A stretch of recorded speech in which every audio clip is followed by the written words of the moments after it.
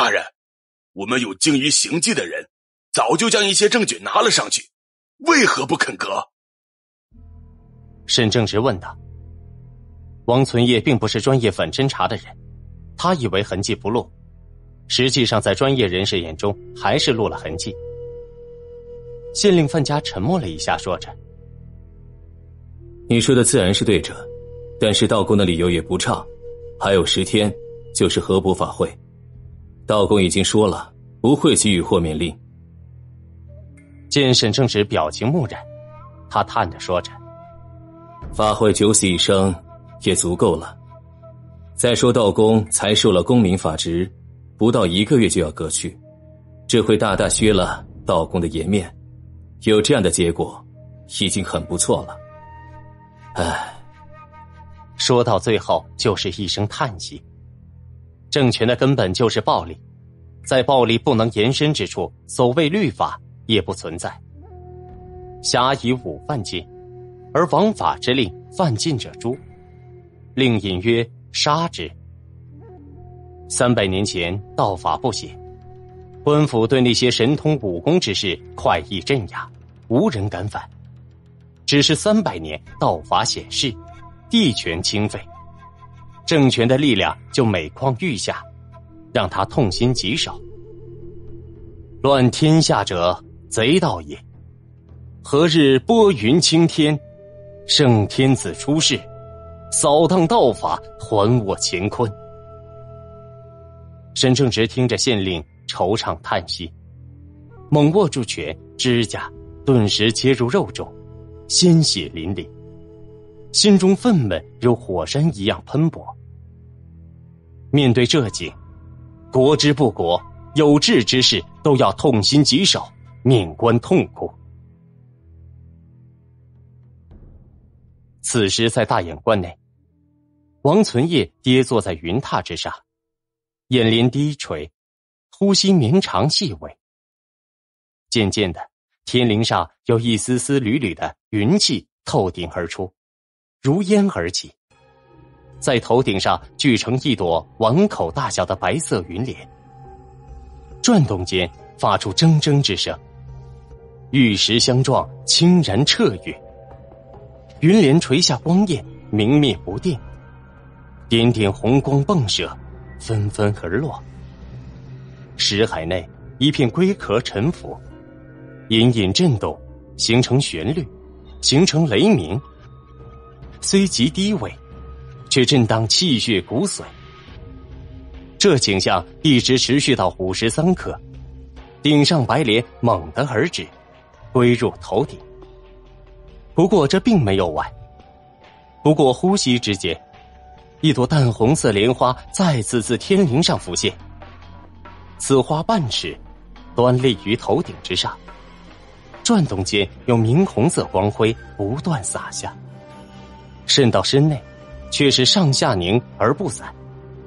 王存业闭目不动，神色寂然，不知过了多久，缓缓睁开双目，顿时身内噼啪之声连绵不绝，雨打芭蕉。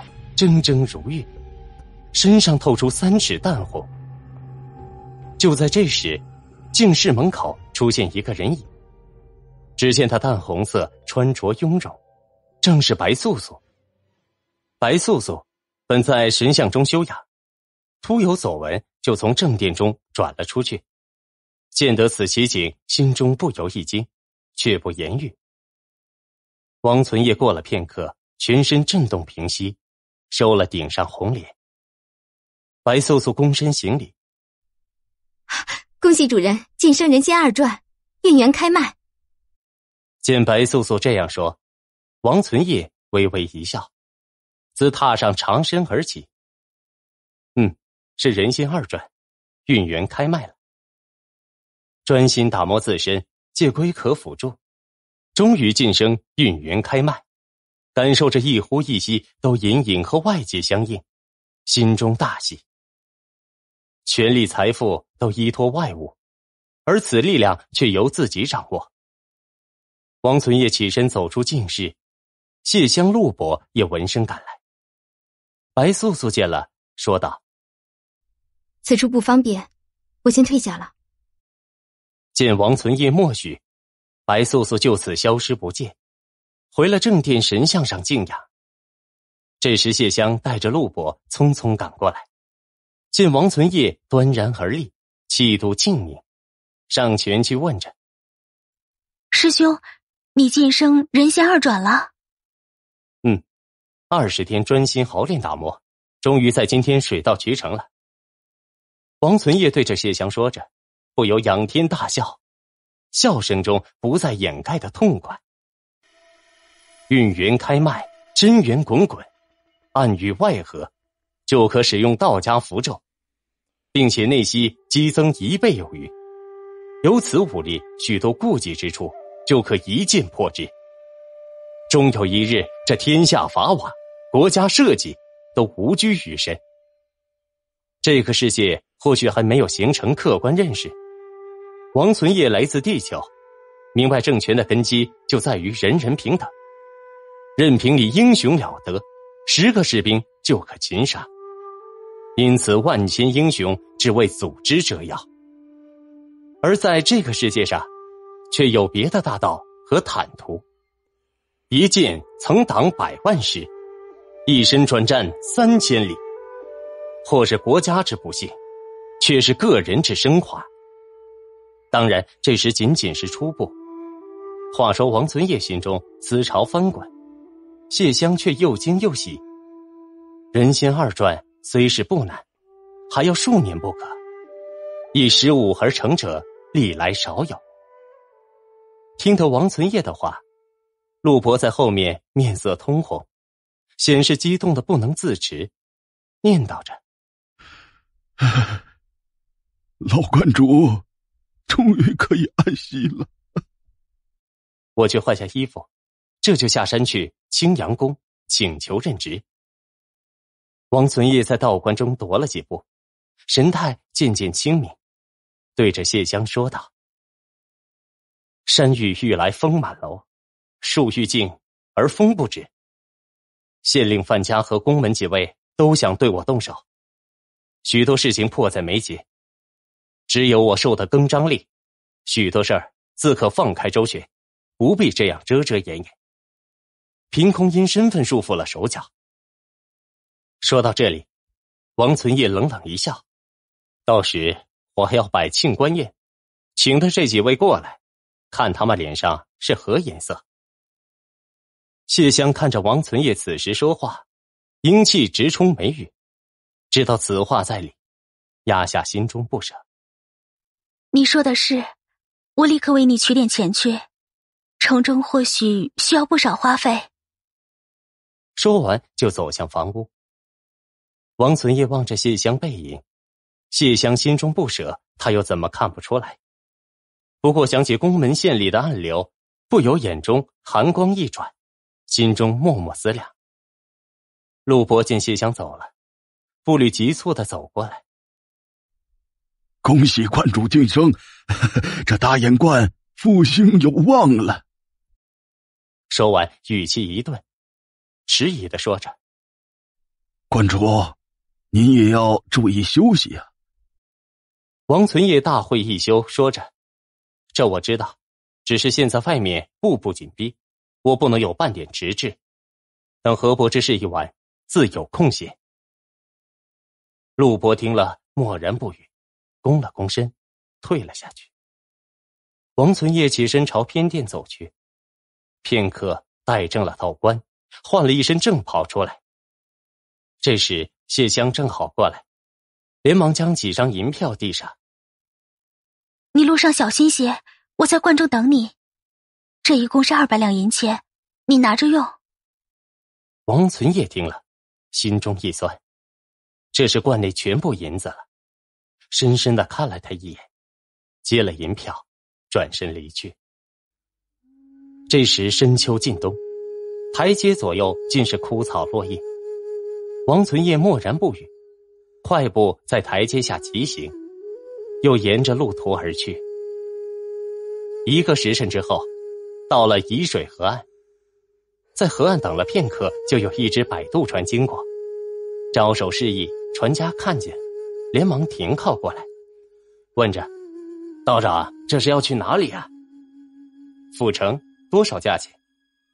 王存业询问着价钱：“一百二十文，到了入夜前就能到。”行。王存业听了，觉得价钱差不多，算是合适，就不再墨迹，直接跳上了甲板。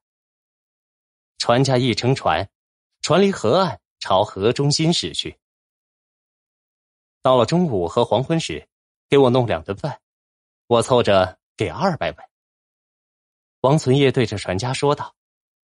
船家听了，顿时应了：“行，我做饭的时候多做一份。”小舟一路在河面行驶，到了中午就过了云崖县。船家做好了饭，送上一条鲤鱼来。虽调料不多，却还鲜美。王存业就着吃了。经过了浮陀山时，已是黄昏，离府城不远。王存业起身走出船棚，看看夜色，又用了晚点。客官到了，船到了，船主说着。王存业点了点头，取出两串铜钱，递给船家，自甲板上下去，到了河岸上。到了里面，夜色蒙蒙。王存业进了城，想了想，没有直接去道宫。街道还算繁华，走了一小段路，就看见有一个旅店。这时门前挂着灯，伙计就上前来迎接。见王存业穿着道袍，就喊着：“哎，这位道长，住店啊！住店，来间清静的单间。”伙计引着进去一间厢房。虽是小了点，的确清净干净。伙计开门点灯，打来了洗脸烫脚的热水，又送上一杯清茶。等王存业都洗完了，说着：“道长安心，有事儿只管吩咐。”说罢，端着水出去了。这时天已经黑了，一轮明月渐渐升起，柔和的月光洒落下来。王存业看了看，就去睡了。清晨，王存业早早起来，付了银钱，大步向青阳宫而去。小半时辰，就到了青阳道宫门前，就见了两个看守道童，正巧是上次遇到的一批。两个道童显然认得他，道长来了，却不再以道友称之。王存业轻轻接过这个话题，说着：“还请道友通告青阳道宫中夜明之事，就说大眼观王存业再次拜见。”见王存业这样说，道童一惊，拱了拱手，说着：“啊，道长稍等，我回去通报一声。”道童快步跑了出来，对王存业做了一个击手：“ 道友请了。”执事大人在玄武殿上等你。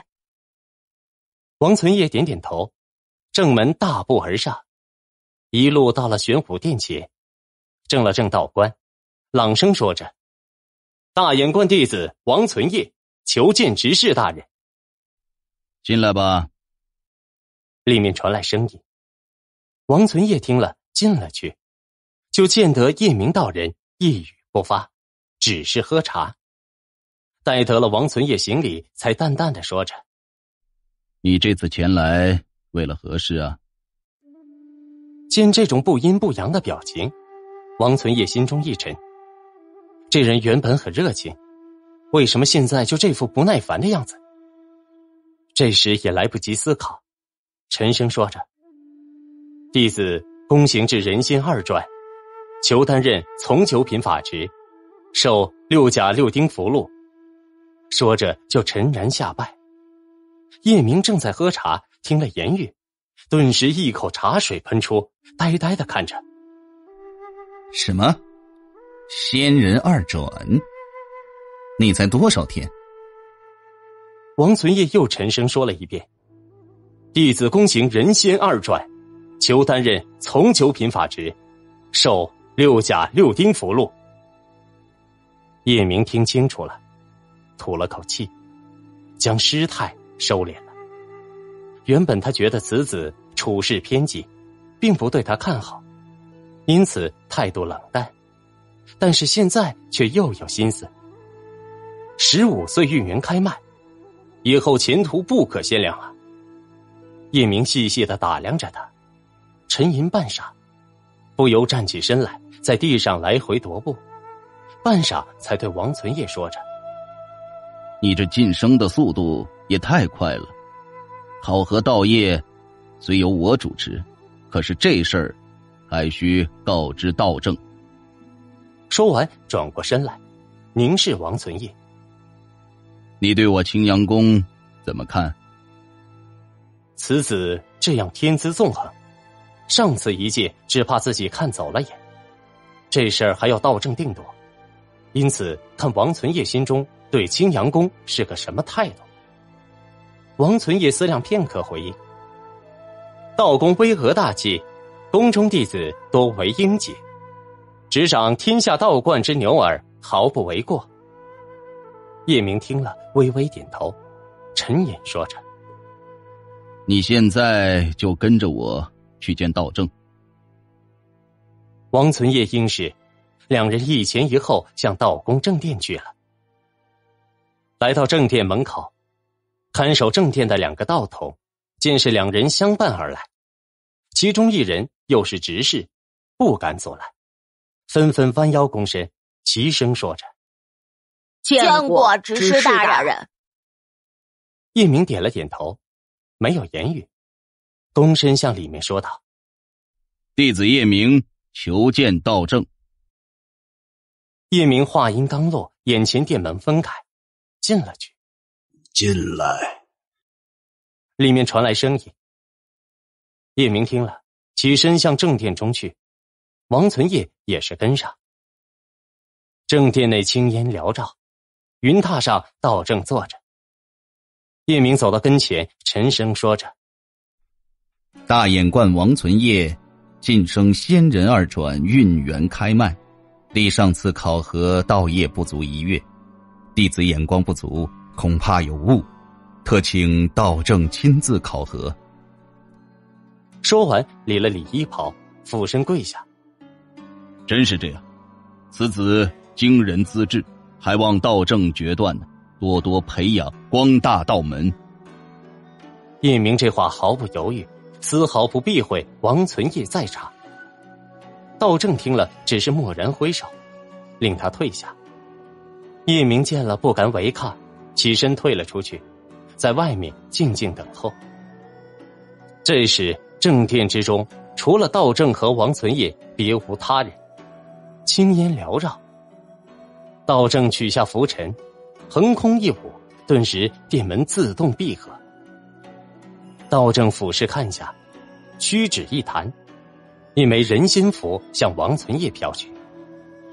你说人仙二转，运元开脉，就用此符箓测试一下，我好走个程序。